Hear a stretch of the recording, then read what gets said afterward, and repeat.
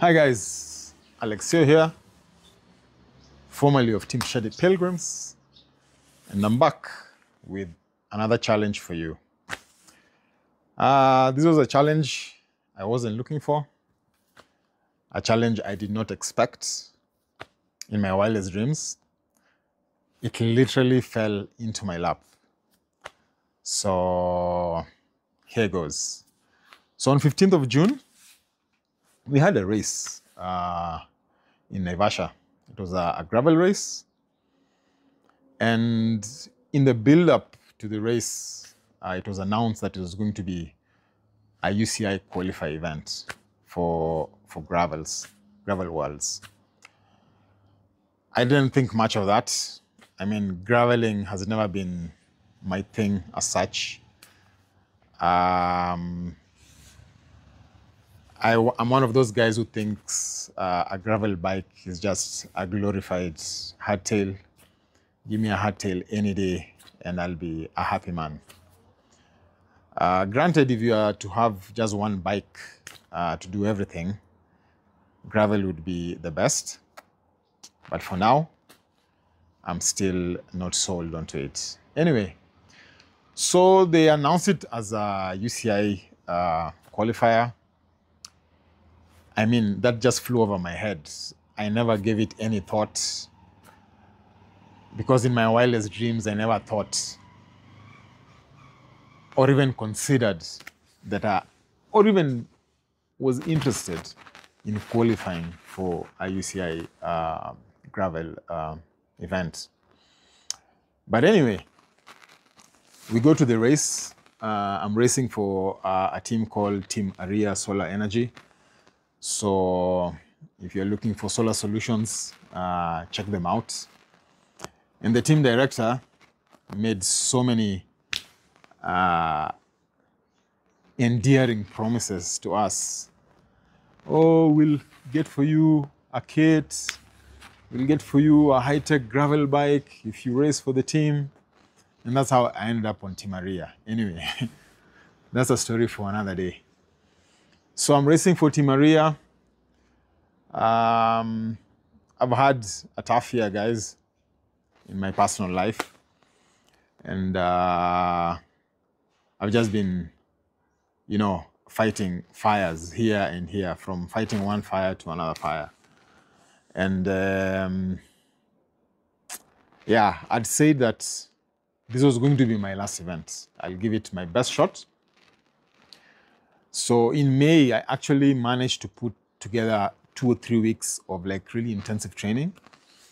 And uh, I come to the race on the 15th of June and I gave it my best. The race was tough. It was 100 kilometers with about 1,500 meters climbing. Uh, I took five hours.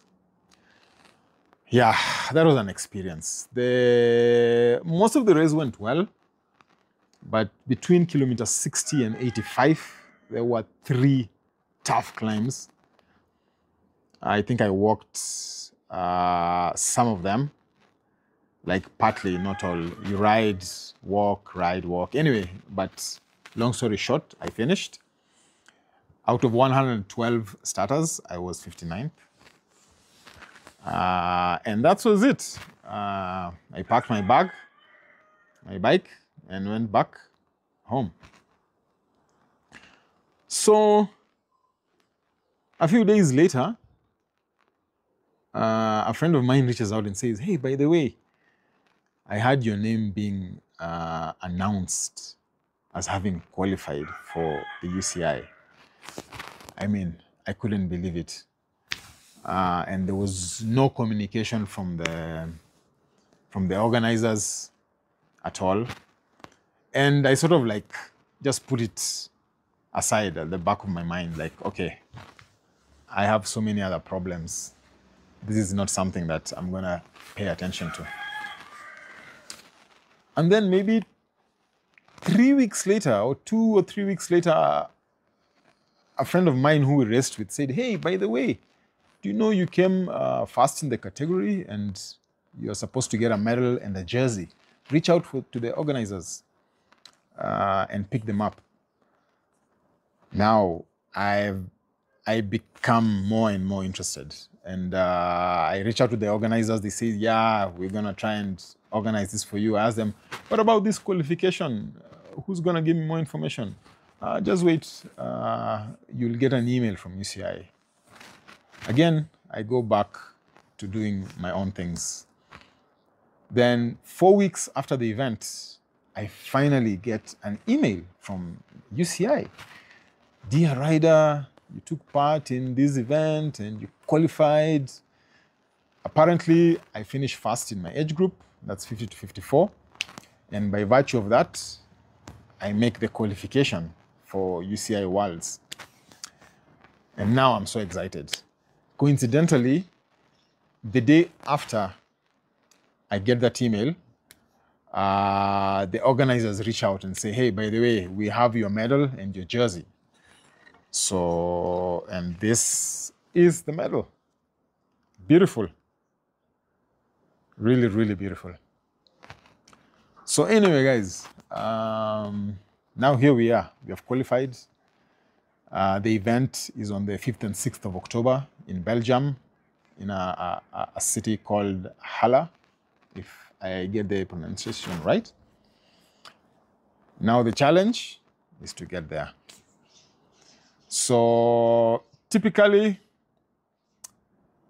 you know, uh, if this was last year, I would have rallied and uh, gotten my act together and uh, known for sure I was going to make it. This year is a bit different. It's going to be more challenging uh, for me. First of all, what's the game plan? So the game plan is to be on the start line and give my best and finish the event. I've got no illusions of trying to go and be competitive and and you know uh, fight for positions.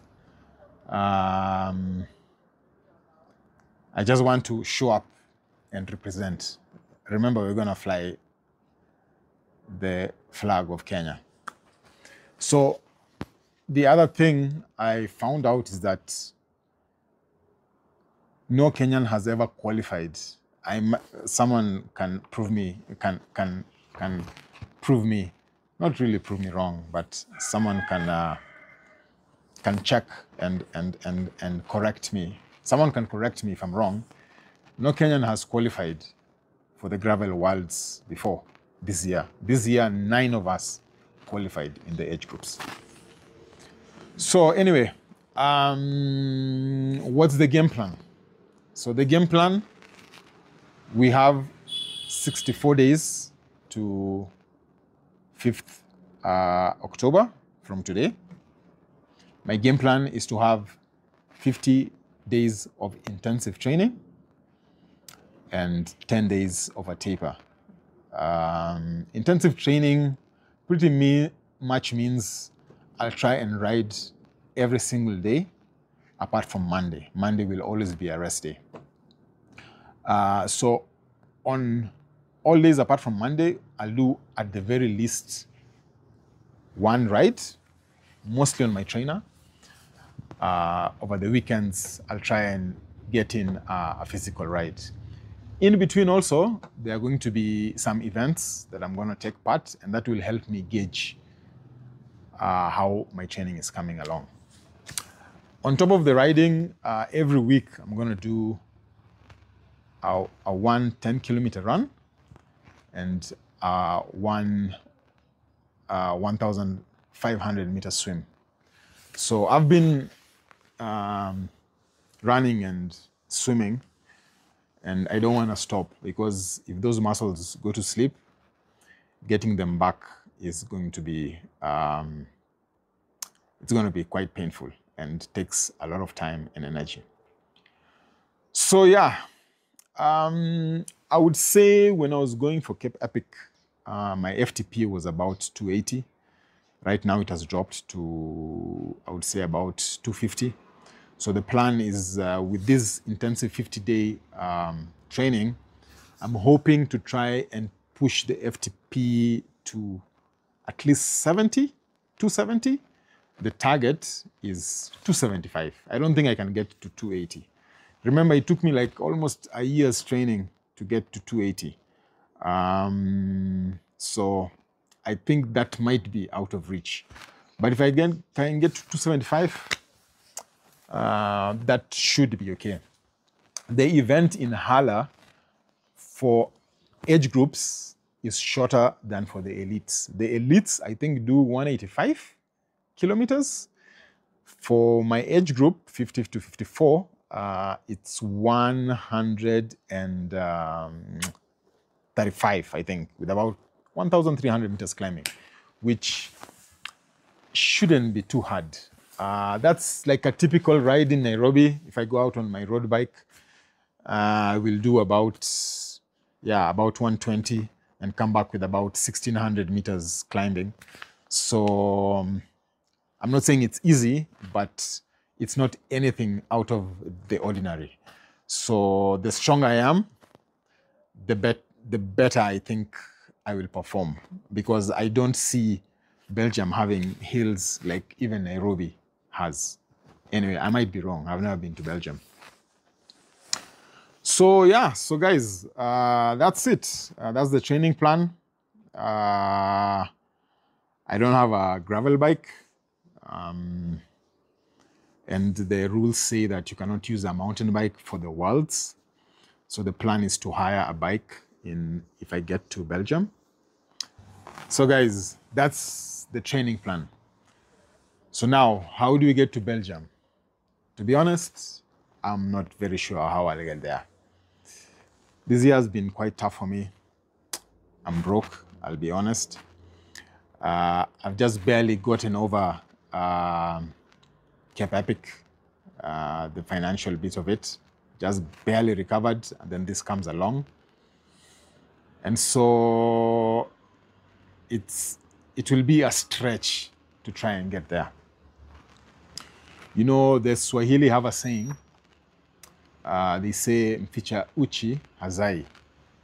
Translated literally, it means if you hide your nakedness, you cannot give birth. Uh, but it basically means, you know, if you have a problem and you don't share it, then you can't expect to get help.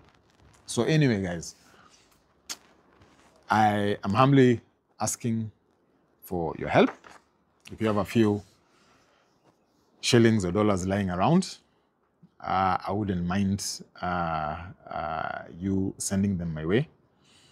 Uh, please don't feel obliged to, to, to help me, but uh, if you can, I will appreciate from the bottom of my heart. Uh, no amount is too little, no amount is too large. If you have a hundred thousand shillings uh, burning a hole in your pocket, send it my way, and uh, you can be assured it will go towards uh, helping me achieve this dream uh, that I have. The budget for the event is about $2,000. So that's about $1,200 for the ticket, $500 for accommodation of about five days, and uh, $250 uh, for the bike hire. Um, yeah. And apart from appreciating your support in exchange, I will try my best to uh, post uh, videos more frequently. Uh, they might not be as entertaining. Uh, hopefully, they'll be informative. Uh, they'll update you uh, on my progress, my training progress. And also, it will give me a sense of feeling that I'm somehow giving back. If there are any sponsors out there that want to partner with me, um, and uh, I showcase uh, either your company or your product, uh, please feel free feel free to reach out, and we'll work uh, something out. So for today, that's all I have, guys. I'm excited about this. Let's see how it goes. Let's see if we'll reach uh, the start line in uh, Halle on the 5th of October. Uh, and apart from that, I just want to say thank you. Thank you for supporting the channel. Uh, thank you for subscribing. If you haven't subscribed yet, click on the subscribe button and hit the bell icon to get notifications of our future videos. Share the channel with your friends. Let's, let, let us grow the channel uh, so that uh, it can reach out to many more people. So from me, guys, uh, hopefully will be, this is a dream uh, that I have for now that's keeping me going. Hopefully we'll be in uh, Halle on the 5th of October with your help. Uh, I'm sure we'll get there. And uh, that's it for now, guys. Till the next one. Stay tuned and stay shady. Thank you so much. Bye bye.